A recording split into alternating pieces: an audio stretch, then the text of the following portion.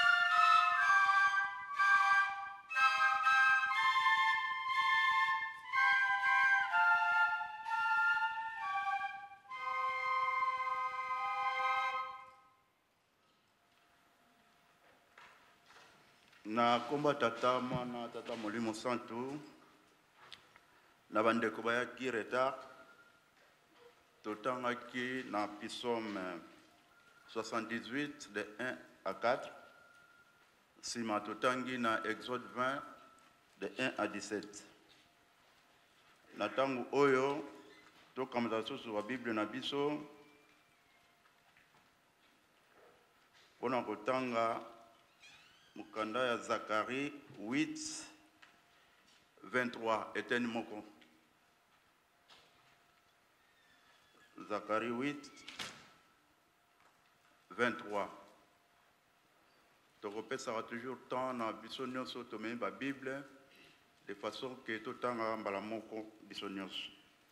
Soki tozui etangeli ezali bo na kombo ya Tata Muana Tata Molimo Santu. Tobondela. Na kombo ya Tata Muana Tata Molimo Santu, Tata Nzambe Nkolo Yesu, Tata Simoki Mbangu Kiangani. Papa koponama Eye lelo na ngai Papa Nsiangani Etienne. Ya solo tata yo olobi ete bato mibale to misato so basangani na nkombo na yo, yo oza na biso elongo. Papa natelemi liboso ya basavant na yo oyo bayekoli Bible, basali teoloji, ngai nasali teoloji te. Papa miso ya bato nyonso ezo kotala nga yo nde maîtrise bango pamba te baleki nga na mayele ya ndenge na ndenge mpo na likambo etali bible nga na koloba na bango eloko nini kasi uta ntango ya kala yo tata nzambe okosala toujours na kati na bato oyo nga na kobimisa awa papa kotika nga te nakenda bonzoto Yo moko olobi ete soki bobengi biso, biso bino moko bokitaka mpo na koservir biso, mpo na kosala mpo na kati na biso. Longola nga mpe bobangi. Me bato nyonso toza na biso awa toyebani na biso mpo nani mpo nazala na bobangi? Yango nde ekolakisaka puissance ya yo Tata Nzambe. Kimia kaka na sengi papa yo wumela kati na biso kokota na biso na esika oyo tozalaki na kombo na yo manso tokoyoka yango na kombo na yo pe tokosilisa pe na kombo na yo nde na silisi bongo na kombo ya tata mwana tata molimo santu amen na kombo ya tata mwana tata molimo santu totangaki na pisome pisome ezali nzembo ndenge toyemba biso nyonso awa kasi totanga pisome 78 na ntango ya kala na ntango ya bayuda Bango mpe bazalaki koyemba ndenge biso toyembi lelo. Bango bana Israël na ntango wana basalelaka 150 nzembo. 150 nzembo wana eyembamaka na bato boye. Roi David ye moko akomaka 73 nzembo. Azaf akomi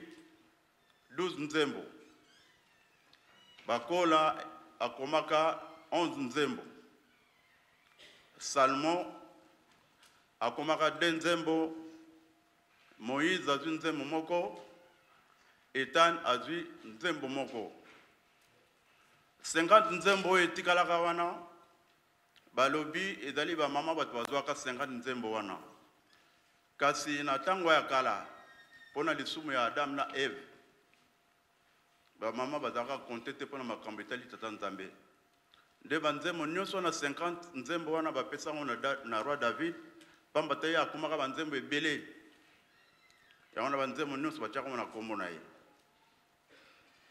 Tolobi ya kala, tolobaka mpe ntango mosusu ya sika. Na ekeke oyo ya biso, Papa Simeon Kimbangu ntango aye,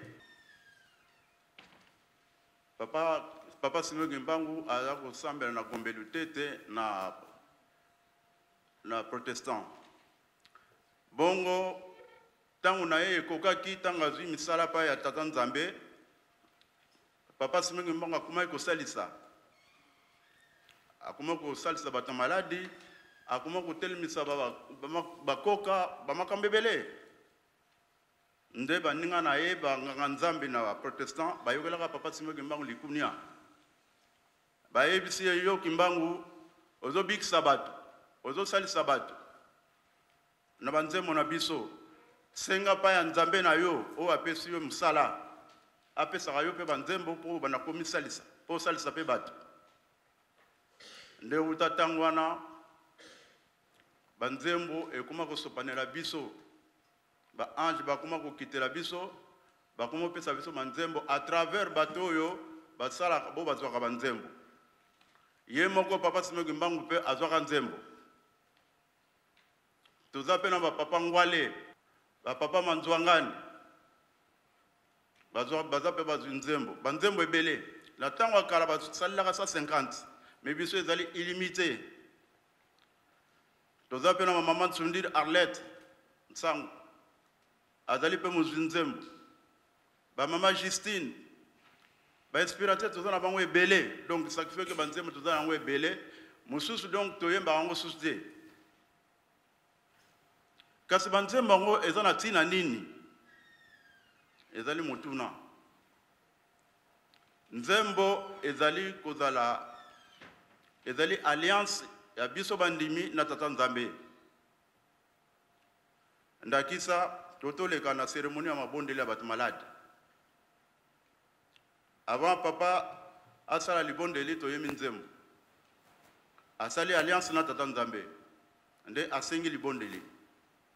Sima mama azwi azwi libondeli. Avant asala libondeli Toti nzembo. Asali alliance na Tata Nzambe. Asali libondeli. Papa pe na suka avant asala libondeli tosali nzembo. Asali alliance na Tata Nzambe.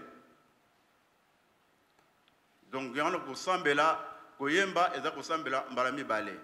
Meme na bandako na biso na ba programme oyo tokozalaka nango. Mutu na mutu pe akozala na programme na ye ya serie na ye mabondeli.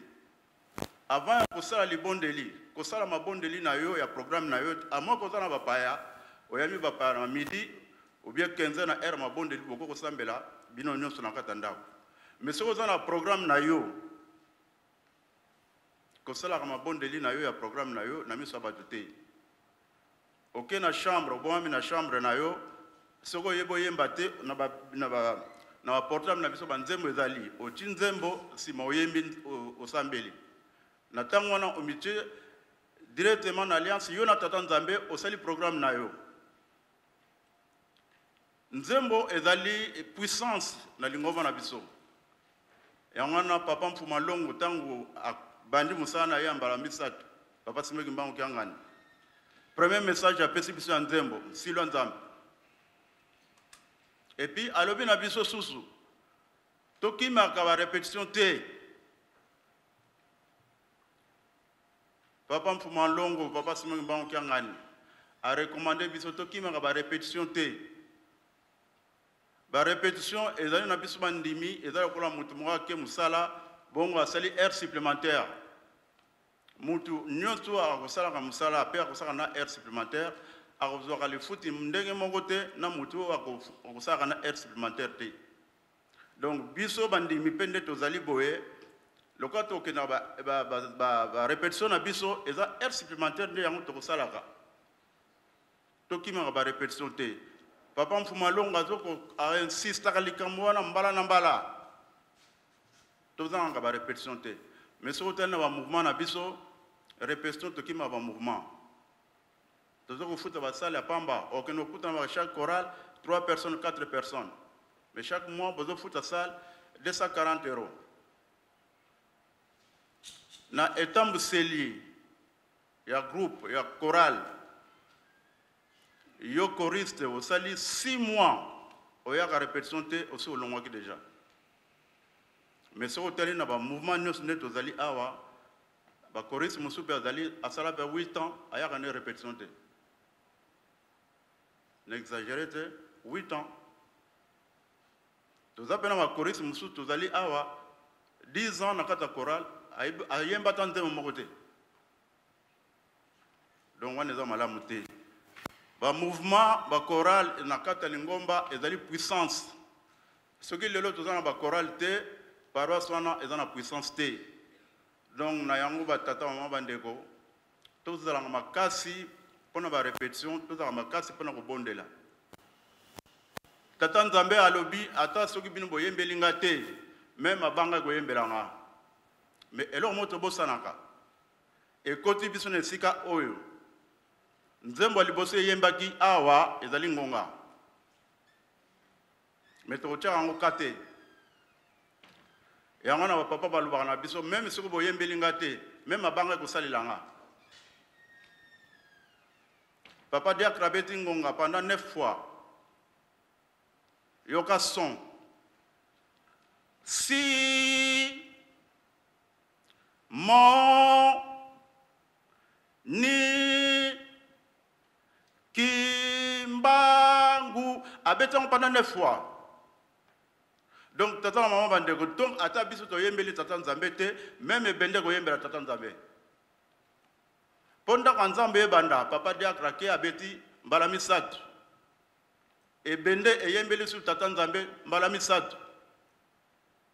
Mbala moko ndako ya Nzambe ebandi.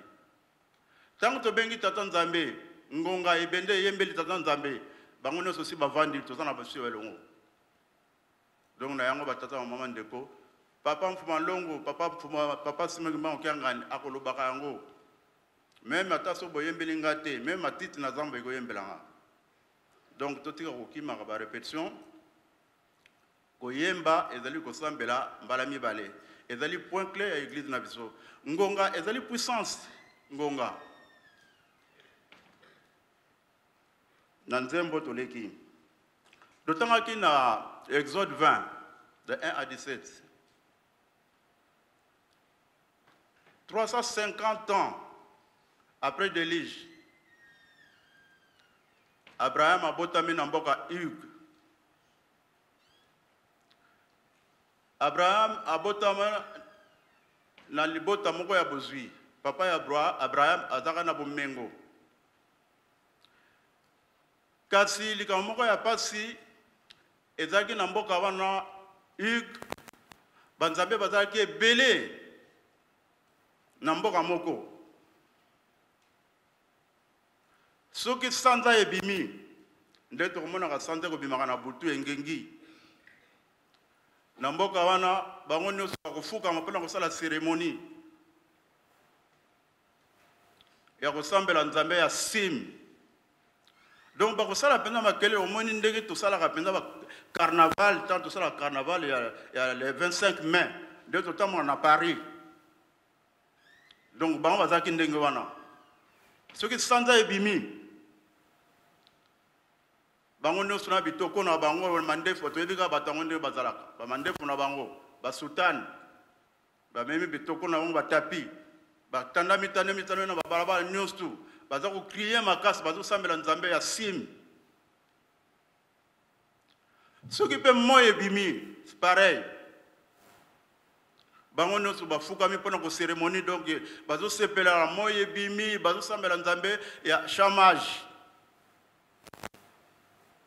soki mpe mvula enoki bango nyonso alini son bango nyonso tu bazosala basala baceremonie na bango baza kosanjola nzambe baya kobenga eya bango nyonso balatilati basutani na bango baza kokrie nzela nzela bango nyonso na batapi na bango tomona toyebi ka nde bazalaka tomona bango na neti na tapi na chateau rouge ndenge bakozalaka bango nyonso baza kocelebre nzambe ya eya mpo na nini mpo na mvula moto enoki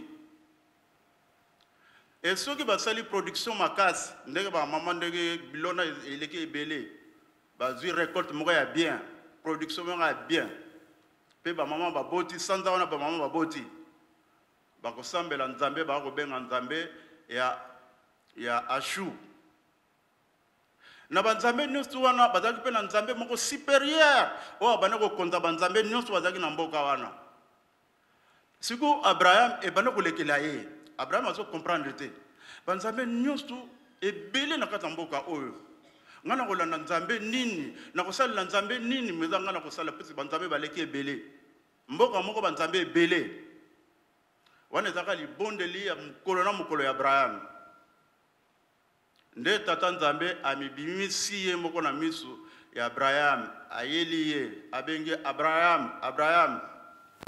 Ya solo, nayoki kolela na yo, nayoki mabondeli na yo, kasi Nzambe ya solo oyo oza koluka ezali ngai. Ngai nde moto nakeli bino bato, ngai nde moto nasali biloko nyonso eza na kati ya mokili. Mpo na yango, kanga bisaka na yo. Nazokende kotika yo na mboka oyo ngai naponeli yo. Okovanda so na mboka Ur te. Ya solo, Abraham azalaki, eh, toloba kaka tata, alaki tata moko ya boboto. Nde ayokelaki tata Nzambe, ayebisi mwasi na ye Sara, ayebisi tata na ye Keta. Keta azalaki riche monene na kati ya mboka wana, azalaki na bozwi. Abraham ayebisi tata na iketa ayebisi mwana nkasi ne lot lot abotama na bandeko ya basi mibale ishka na mika basimi nzela bango nyonso batamboli na nzela batamboli batamboli baniati na affaire de 1500 km bakomi na mboka moko boye arene Abraham alembi bavandi bavandi basanza mpe bambula na mboka wana Arene. Nde nsima papa ya Abraham Keta na 205 ans akufi. Ntango akufi bakundi ye, tata Nzambe azongeli lisusu Abraham, ayebisi Abraham, mobembo ngai na yo nani esili te, kanga bisaka nakende kotika bino na mboka ngai naponeli bino. nde batamboli abraham azwi mwasi na ye sara azwi bana nkasi na ye lot iska ishka na mika na barichesse nyonso ya tata na bango lokola kete akufi tata abraham akufi biloko nyonso etikali na abraham bazwi nzela batamboli batamboli ti bakokoma na mboka kana Bakomi na Kana, Tata Nzambe alobi, Abraham, mokili nga nabongiseli bino nde ezali yango oyo. Mokili nga nabongiseli yo yango oyo. Mabele nyonso ezali awa ezali ya yo. Bomengo nyonso eza na mboka oyo na ba sous-sol na bibwele oyo nyonso biloko nyonso okuti awa ezali ya yo yo okoyamba bakoko na bakoko ya mabota na mabota na mokili oyo na mboko ngai naponeli yo Abraham agangi, Nzambe, nakoyeba ndenge nini ke biloko nyonso yo otii na mokili oyo, mabele nyonso yo opesi ezali ya ngai? Confirmation nini yo opesi ngai? Tata Nzambe alobi na Abraham, kangela ngai ngombe ya mwasi ya mbula misato, kangela ngai ntaba ya mwasi ya mbula misato, kangela ngai meme ya mobali ya mbula misato Kangela nga ndeke ya monene mpe kangela nga ndeke ya moke. Kata bibwele, kata banyama nyonso na biteni mibale mibale. Nga na yo tosala alliance. Abraham asali libongo, akati ngombe, akati ntaba, akati meme. Abraham akomi na bandeke, bonzoto ezongi. Alobi, Abraham alobi, Oyo eza nango ba ndeke. Soki na kati yango susu, tango na kotumba, ekobima susu ndenge nini? Donc malamu nyonso kaka natumba yango kaka ndenge wana. Asali mbeka ebeti poto. Tata Nzambe akiti. Alobi, Abraham otosi ngai te. Banda lelo, libota na yo kokende bowumbu ya 400 ans.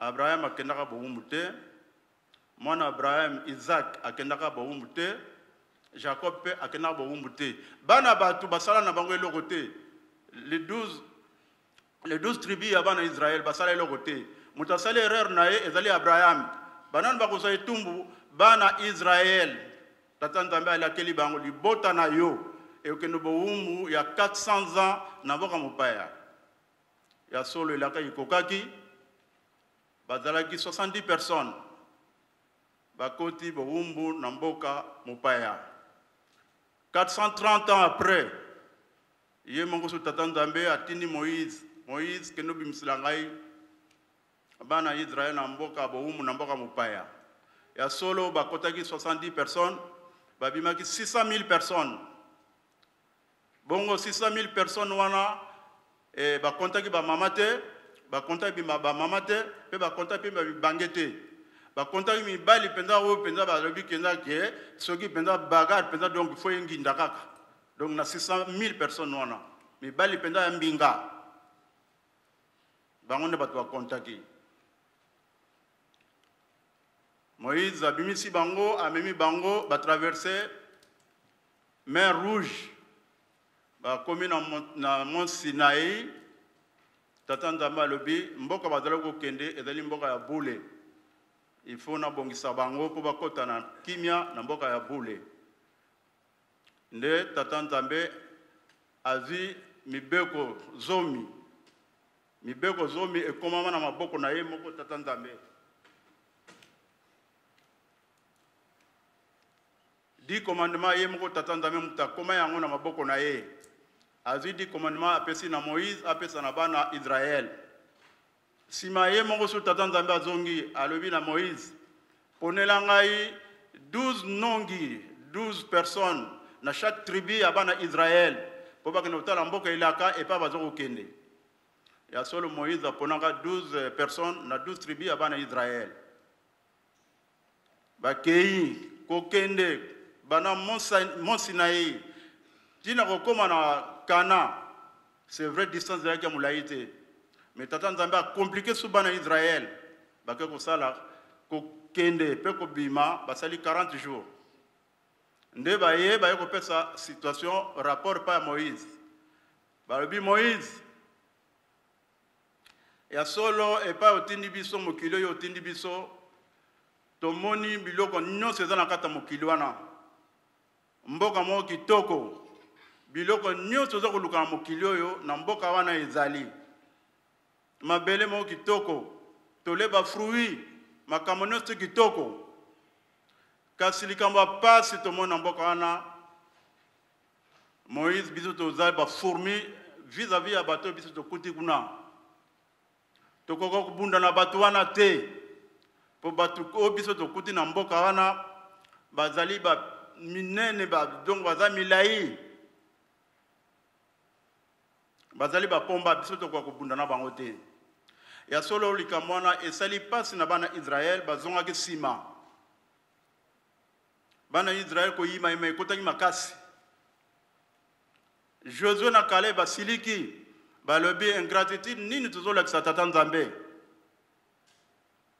Une fois tomoni makambo ya tata Nzambe abimisi biso na mboka Boumbu, to traverse main rouge abateli biso na nzela asali biso bamerveille ya ndenge na ndenge mpo na 3 4 personnes oyo bino bokuti kuna na mboka na mboka epa bowuti epa tozokende mpo na minene mpo na milai wana bobosani nyonso tata nzambe alakisi biso comme ba evre tata nzambe asali biso na nzela totamboli na nzela wuta epa towuti tu tokomi na esika oyo moto moko te abeli moto moko te akufi nyonso wana bobosani yango nde makelele makelele nyonso wana ekomi na matoi ya tata nzambe tata nzambe akiti alobi nayoki koyimayima na bino banda lelo bokokota so mboka elaka te bino nyonso bozala bokosila kokufa na esobe kaka josue na caleb na bamama na bana mike oyo babotamaki na nzela nde bango bato bakoti mboka elaka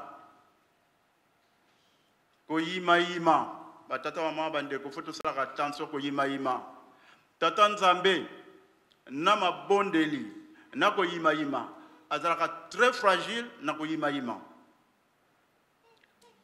tolobi ya kala tozonga mpe na ntango na biso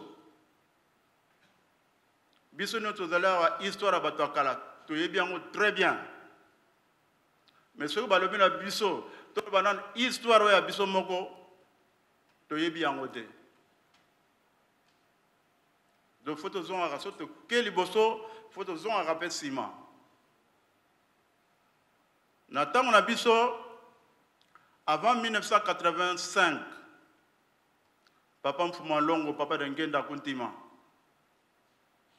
mibeko ezalaki kotangama lokola bachapitre ndenge tokoki totanga bachapitre lelo par exemple exode 21 à 2 ebanda kotangama ndenge wana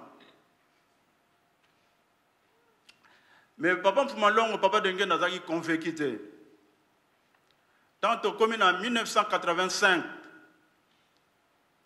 Papa Mfuma Longo, Papa de Ngenda Kuntima, alobi kobanda lelo mibeko bisika nyonso bozwami fo botangaka yango de 1 à de exode 20 de 1 à 17 mobimba nango ezala na matanga ezala na fete ezala na bateme bisika nyonso bozwami fo botangaka mobimba nango Nde wuta tango wana depuis 85 ti na lelo oyo, yango tokotangaka Exode 20 de 1 à 10 mobimba nango.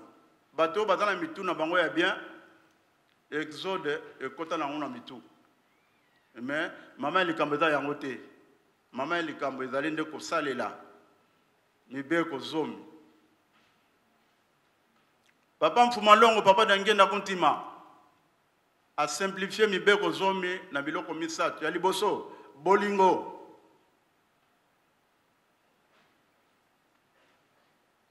Mibeko pe misala na bolingo.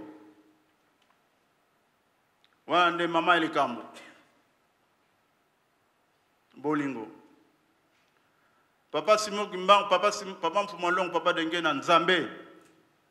ayebaki ntina atiaki bolingo liboso akoya kotia bolingo na meme na troisième position mais papa, papa mfuma longa ati bolingo liboso mpo na nini mpamba te ayebi ye aza nzambe ke na kati na biso bolingo ezalaka nango te bolingo na miso na présence moninga na yo ndeko soki oza na bolingo na ye okoki koyina ye te moninga na yo bovandaka na ye boyembaka ne korale moko bosololaka na bino te botalanaka te bolingo ezali socle ya likambo na kati ya mokili oyo ebible so tozwi mpenza bible todiserte mo bolingo tokoki kobimisa mpe balivre ebele apartir ya mo bolingo nkolo yesu akufe na ekurusi mpo na kozanga bolingo tozangi ye bolingo Papa Simeo Kimbangu anyokwami. Papa Luntala ake koteka ye, ake kotrahir ye mpo na kozanga bolingo, lokoso ya mbongo. Ake pa bakolon, ake koteka Papa Simeo Kimbangu. Azwi ba mike mike ba franc, ba franc congolais wana nde atrahir Papa Simeo Kimbangu. Moninga na yo ndeko, okotrahir ye likolo ya 1000 euros, babomi mpe mutu, kozanga bolingo. na bolingo na ye tata nzambe na bolingo na bango tozwi papa molimo santu nzema moko ezali awa papa dirigeant s'il vous plaît na cadre ya bolingo nzema moko ezali awa bakoyemba yango na bolingo nzambe ayaka ose na bolingo na bolingo biso nyonso toyemba banso ose boyoka liloba ya nzambe elaka oyo epesameli bino banso de 3 banso se boyoka liloba lya nzambe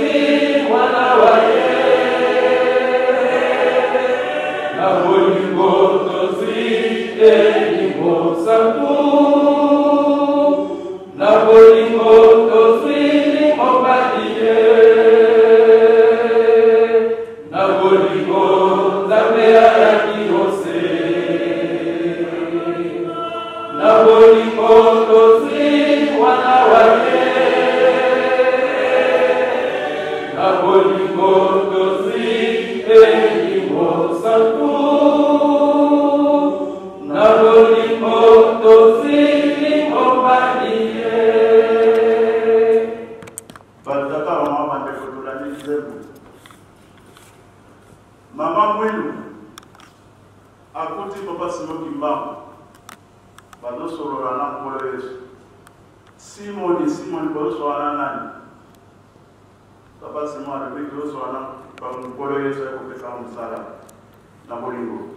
Yoka mama mwe Simon ndima na kopesa maboko. Yo mama mwe ozali mwasi babali vanda na cuisine keno lamba biloko okende kokɔta makambo eza na dimension supérieure mais mama moyilo azalaki nani po akende kokɔta makambo ya dimension supérieure ndenge wana donc bamama batata na bandeko fo tokamata mpe mama moi na bolingo fo totya bango mpenza fo totya ye na place moko makasi parce que ce n'est pas pour rien mutu nga lelo na soki nazwaka na nga ba 10 000 te nakoki na kokota masolo ya bato ya ba 20 000 ba 30 000 te mama moyo na masolo ya bato ya badimension makasi alobi simoni zwa ndima na kopesa maboko na bolingo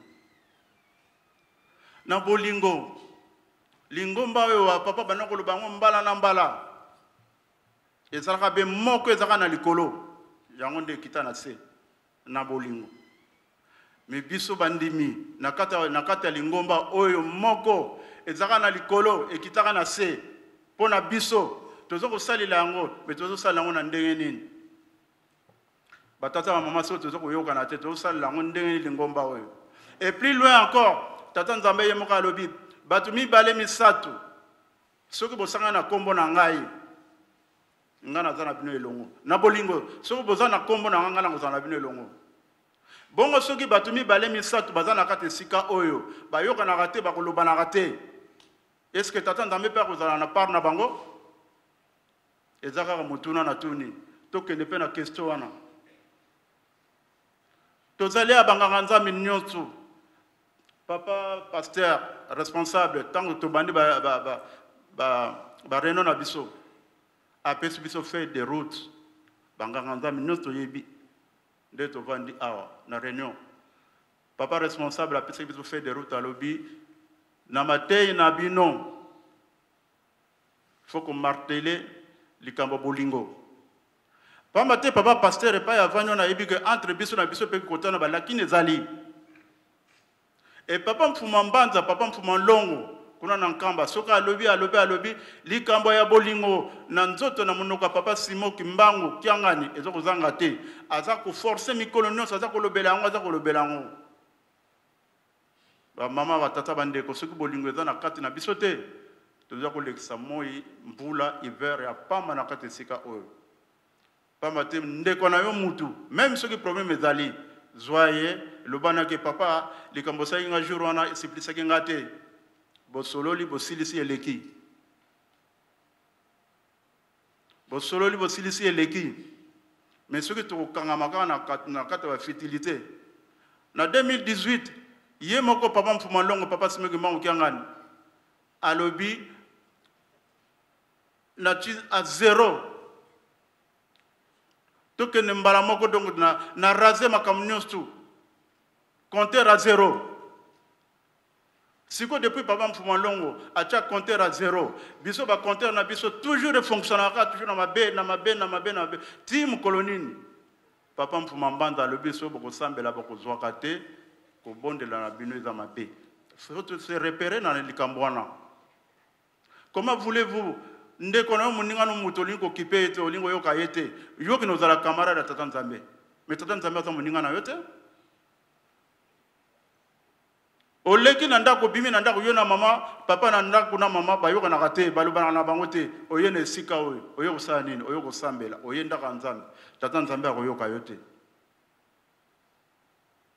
donc ndenge nauta koloba kaka mo kaka moko kaka oyo bolingo soki todiserte yango tokoki kobimisa balivre na balivre kaka na mo moko bolingo na bolingo toleki na misala Mibeko papa mfuma papa kisolokela alobi bomeka soki bokoki te biso tokopesa bino coup de pouce misala nde yango tokolongisa biso dimanche passé tozalaki awa papa ateyi awa alobi na ntina misala na ntina biso bajeune bajeune tokineli bino mosala te me toyebaka yango ki misala oyo lingomba papa simo kimbangu soki lelo oyo ekoma na niveau oyo ekomi boye ezali na ntango ya bamama na biso mpe batata na biso ntango bazokende na kere mama alobi bana botika na ndako wana ke kere kere elingi oloba nini coral coral na ntango na biso me na ntango na bamama na biso bazokende na kere bazalaka na botosi bazalaki kosala Kamwa mikate na ye ateki na, na wenze, kamwa mungwa na ye ateki, kamwa pilipili na ye ateki. Ntango antinsani bamama ba, ba mama na biso baoya bakosala kaka na ba 1 franc na bango ba 1 likuta na bango nde lingomba lelo ekoma na niveau na international Ba mama na biso bazalaka na bozwi te ndenge lelo biso tokoma na bozwi soki obimi na parking okokuta bavoitire eza kuna okanisa ya leta me ya mutu kaka me ntango bamama na biso mama akokuta selembao azokende ti na paroisse ya lalu ake kere na makolo mpe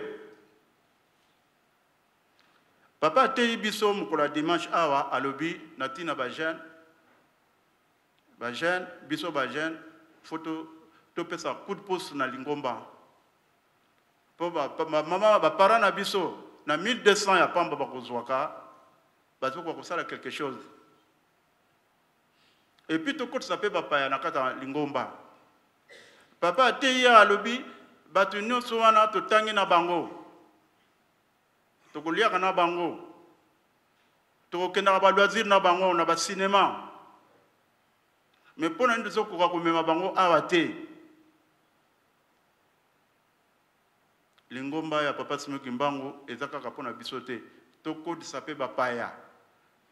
Tata wana ake mosika, abi ba mama wana pe ba papa na biso na 1200 bakangaki motema te, bazo kopesa donc corps un pona kotonga lingomba. Mais biso tozo kozwa ba 3000, ba 4000, plus loin encore. Tata ateyi biso dimanche alobelaki likambo yango. Ba jeunes tokineli bino musala te mais bofongola maboko epai bozali pamba te boza na ba competence wana bino boza bana bobotami awa botangi awa boza na maniveau moko makasi makasi ba connaissance nyonso boza nango totyango na lingomba tata mosusu mpe afaki mpe kaka Alekaka be esika oyo.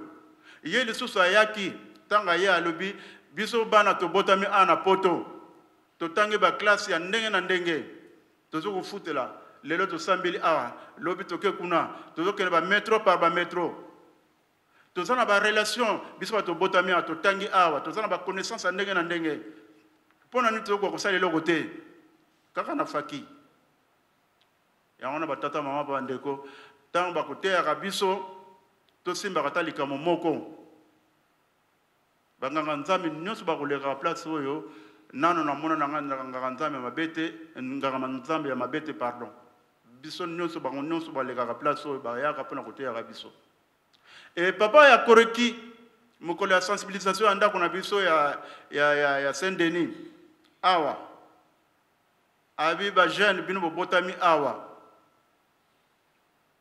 ba niveau d'étude bino na yango biso mpe toyaka na yango na mboka oyo me tozwi chance wana te mikanda ya bitango toye ebuki biso nde yo tokosala misala kaka ya ndenge wana na yango bino ba jeune boyika mpiko bofongola maboko Bosalisa lingomba. Mbongo ezali eloko bakangaka te. Eloko moko tobosanaka yango wana. Soki ozwi mbongo, okangi mbongo, mbongo ekokima yo. Ozwi mbongo, libere mbongo, mbongo ekozongela yo. Cri moko ezobetama kala awa na Perneti ti totamboli tamboli. Tolobi ebimaka ezongaka. Makambo mosusu tokobimisaka toyebaka na biso yango te ntango mosusu mpe nzoka nde ezalaki nango inspiration ebimaka ezongaka papa responsable ntango azwi biso na réunion première réunion azwaki biso ya bachef ya mouvement alobi nakosala na bino bambuta bamouvement soki nalobi likambo bobaluki mbala moko boki bolobi na nkango C'est comme ça tokotonga paroisse na biso mpo tokende l'avant. Wana nde na ntina ya misala. Soki papa pasteur lelo alobi ke joto na nsinsani, bambuta, bamouvement, alobi ke bokende, bosensibilize na bakorale. Yo baluka, kende loba na bakoriste na yo, ke dimanche toza na misala. Dimanche passé tozalaki bato oyo tozalaki national il fallait ezala awa te dimanche passé il fallait national ezala na lille mais tata nzambe alobi nini bisika nyonso lingomba papa sibengemongo ezali amérique asie europe bozonga na baparoise na bino bosalela nga misala ya, ya, ya bato nzambe alobi que cela soit écrit nde yango tosanganaki dimanche awa yango na papa kulutu alobi na biso bomeka soki na bolingo bokoki te soki na mibeko bokoki te ata na misala bopusana ata mwa moke nde yango batata mama bandeko mpo na mibeko Nalongoli mobeko moko te, mibeko nyonso il faut tosalela yango, mpe nakonokola lokola mvula te. Toleki na Zakari. Natangaki, totangaki Zakari 8, 23 eteni moko. Solo batata mama bandeko, chapitre wana papa mfuma longo ntango apesaka biso yango na andresi ezalaka likambo Na ntango ya kala, maladi moko ekweyaka na mokili, babengaka yango fièvre espagnole. Bato bakufaka impossible. Donc eloko nyonso kosimba poison. Obimi libanda donc mopepe soki ezwi yo donc okufi. Okoninga donc impossible epai okolekela ezali te. Bongo na tango ba Yuda tellement bato kokufa donc impossible bato balobi mais non tokoki kozala kaka boye te sino te tokosila donc monde entier donc epai ya kotambola ezali te babato donc kotambola te avion kotambola te mopepe soki ezwi yo poison ezali ko ezali ko ebanda eh, eh, kose transfere na mopepe 10 personnes ya ya bikolo différentes balobi non non non non faut tobima faut totambola bayebisi bango ke kuna epa bozokende mwana nzambe azalaka kuna bapasi nyonso oyo tozali awa na kati ya mokili oyo toloi tosila moto akosalisa biso azali te kaka mwana tata nzambe mwana nkolo tata nzambe nkolo yesu azali wana ba juif wana balobi fo tokende soki tokokufa moko moko na nzela to tokende ti tokokuna kutana na juif wana bake bakutani na ba juif moko bakwei na ye na bilamba balobi ndeko na, ndeko na biso mokili tala kaka bato baza kokufa awa bino boyebi epai ya tata nzambe akozalaka Bino boyebi tata Nzambe ndenge azosalisa bamaladi oyo bato baza kokufa basili na kati ya mokili oyo me bino bovandi bozoloba eloko moko te lokola tokangami na yo okomema biso epai ya nkolo yesu mwana, mwana nzambe asilisa maladi oyo e, e, asilisa yango ezonga epai yango euti juif wana alobi ngai nayebi mwana nzambe te toyebi yango bie na ntango ya kala bayebaka nkolo yesu te bakangama na ye tolobi ya kala tozonga ya sika tozonga pe toloba pe ya sika 2019 papa mfuma longo papa de ngenda kuntima alobi maladi moko ezoya na mokili oyo Batu bako kufa donc impossible. Ngai Diangenda na lingi kutu ko mona makambo wana te. Na lingi kutu ko mona bibembe wana te. Po bibembe mususu eko kufa na kati ya mboka oyo bako zala na temps ya ko kunda yango te. Mususu bana ko sauter yango. Mususu donc o tiki kaka ndenge wana donc impossible. Ngai Diangenda na lingi ko mona makambo wana te. Malamu na zala de l'autre cote na kende ko zela bino de l'autre cote. 2019 na boyei ya papa molimo santu patron ya 4e generation covid-19 batata mama bandeko nde tozali awa bato bamela biloko mabe nde tozali awa mpo na komibatela covid-19 toke na centenaire 2021 namoni na babis na kisasa bafula na babis pardon bataxi bis bato plein mais baza na bacache ne te mais covid eza kofrappe tala makambo sa tata nzambe ya solo batata mama ndeko toza na banzambe epuis biso tokembaka toutofrole danger moko ya kosakana te Balobi place ya ba juif to tya ba kimbangiste mais nga na kipe bango te pamba ya biso moko donc na 2019 biso ba kimbangiste na boye ya 4e ya ya ya ya ya ya, ya patron ya 4e generation covid covid 19 bato bakufi ba les plus important tozalaki na bango na bafamille bakufi kufi otamboli na kisasa okomona bacamion nyonso babisi bavoiture batya bafoto ya bapapa bafoto ya papa dengenda bafoto ya ba ya papa Simon Kimbangu Kiangani. Bato ya mokili bayebi ke bakimbangiste bayebi Nzambe nde epai Nzambe azalaka. Tala epai tokuti kofrole danger. Maintenant esili mpe te. Toza na centenaire na Nkamba, bato plein à craquer. Plein à craquer. Donc soki tobunga na yo donc tokobengana na telefone. Mais batu bayebi ba kimbangiste, ba kimbangiste bayebi Nzambe. Ba malade ane ono beti biso. Biso na biso bandeko tolingi koyokana te.